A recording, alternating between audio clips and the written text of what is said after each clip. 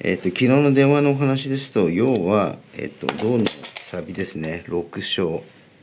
でね、6章が、まず、えーレモンだとか、ソースとかで、なんでこう綺麗になるかっていう話だったと思います、メインメインはですね。ちょっと古い10円玉なんですけどね、こうやって見ると、えっ、と、緑色にこう変わってる部分と、あとこう、なんか手垢みたいですかね、こういう、えっ、と、ちょっと黒っぽく、こう、いわゆる、なんか、まあ、汚れっていうんですかね、そういう状態のものもあるわけですね。で、この緑色っぽいのが、この6章っていうやつで、この成分については教科書なんかでもよく載って、普通に載ってるもので、えーこれですね、あの、作った時は銅ピカなんですけども、こういった成分ですね。ちょっと難しいんですけども、えっ、と、水酸化物、それから炭酸、えーの化合物の複雑な構成があるので、はっきりとした化学式で書けないものなんなんですね。えーじゃあこの6章ですね、えっ、と、いくつかちょっと、えー成分、えーえいろんなもので本当にこれであの落ちるかどうかっていうのをちょっと試してみます。で、一つは、あの、いわゆる、あの、レモンですね。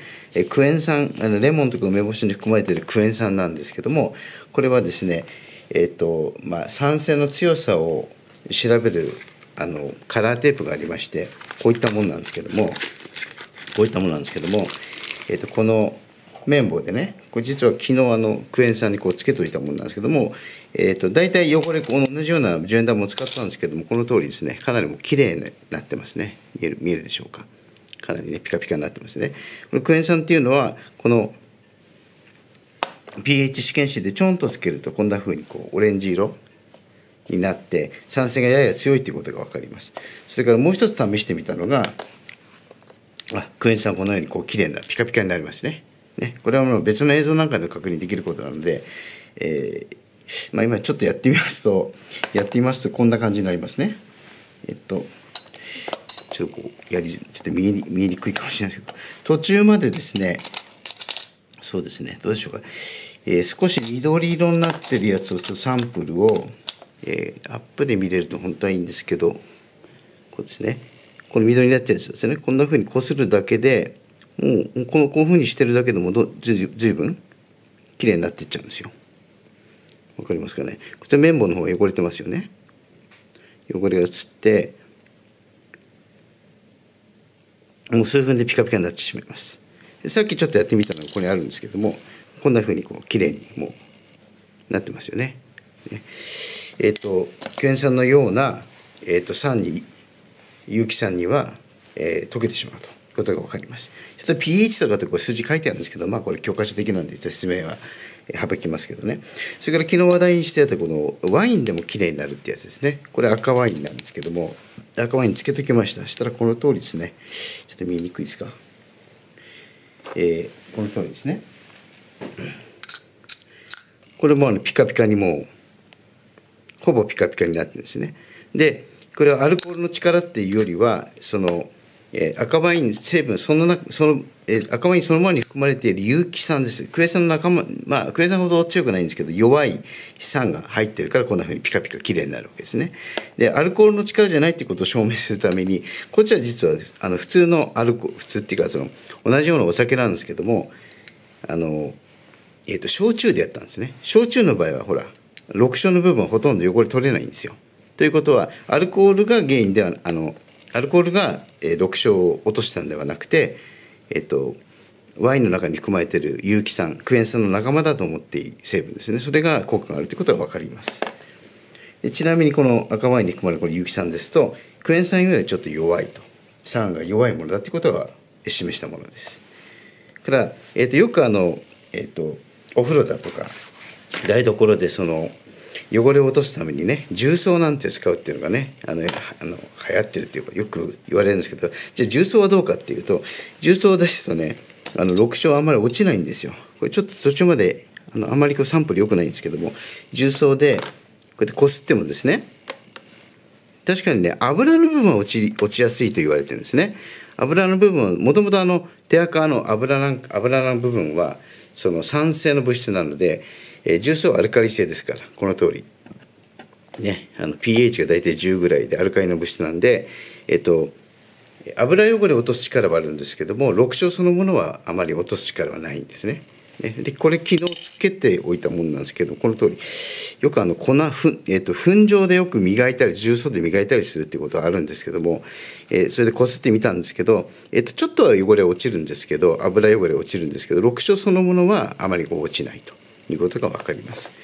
からもう一つあの強力の洗強力の洗浄剤としてねよくあのアルカリの強いものが使われるんですけども水酸化ナトリウムですとか水酸カリウムっていうやつなんですけども重曹よりはるかにアルカリに強くて、まあ、手なんかつけたら危ないんですけどもそういったものでちょっと昨日つけておいたんですけども、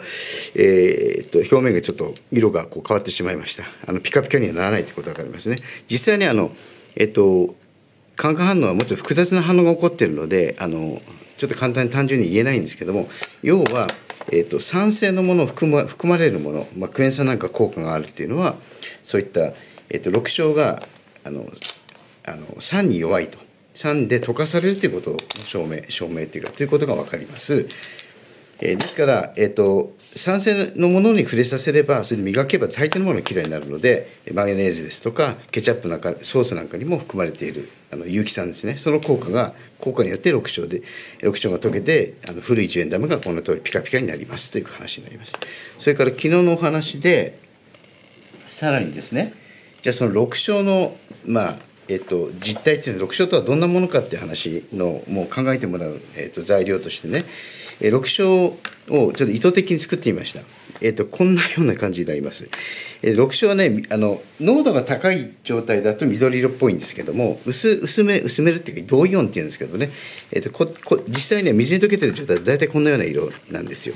で、あの、大仏ですとか、その銅のピカピカしてるものがですね、えっ、と、長い年月で、えっと、水と酸素、主に水と酸素ですね、が加わることによって酸化が進んで空気中の二酸化炭素と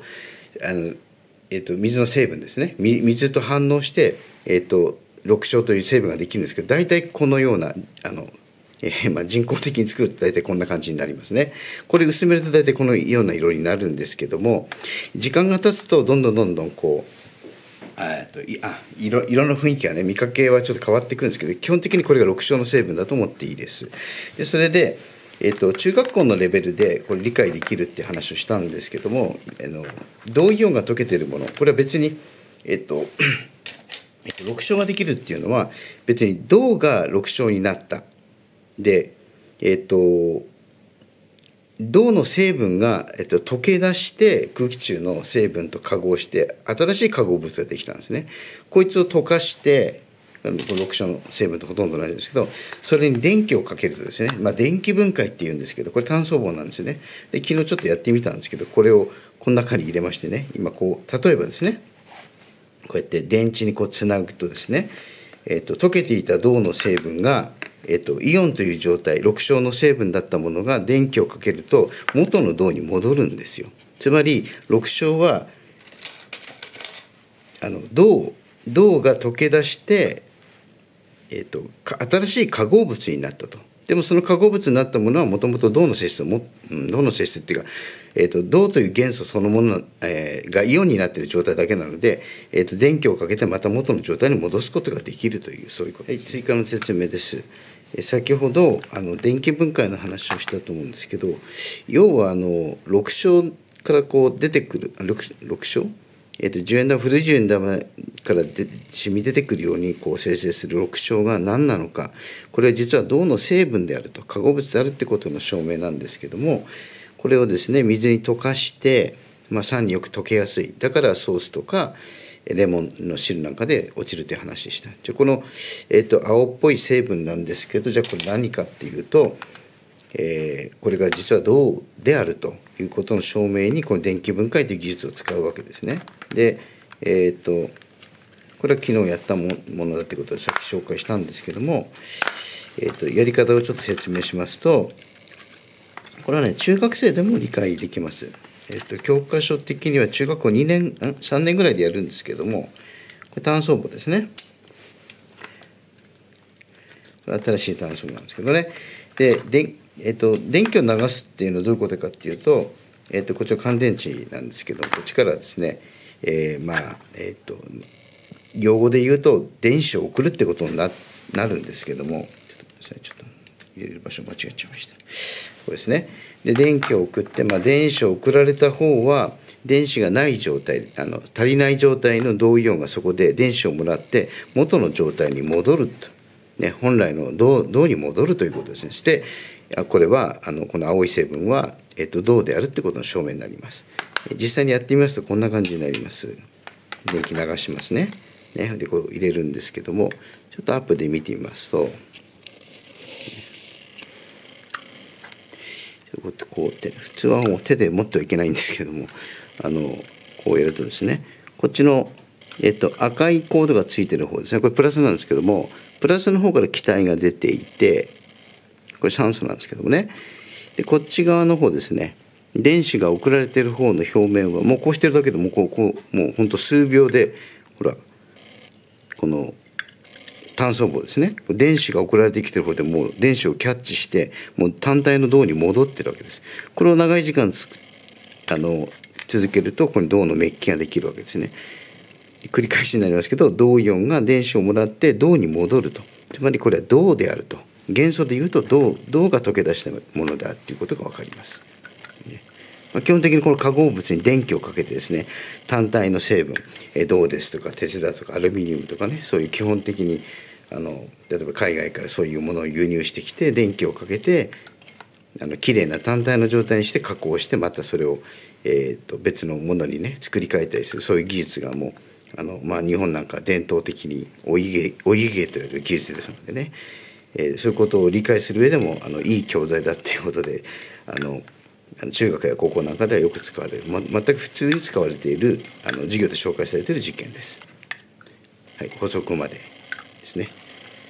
これきれいに摘出させれば今日きれいな銅がねあのあのテカテカになるわけですね。はい、参考でした。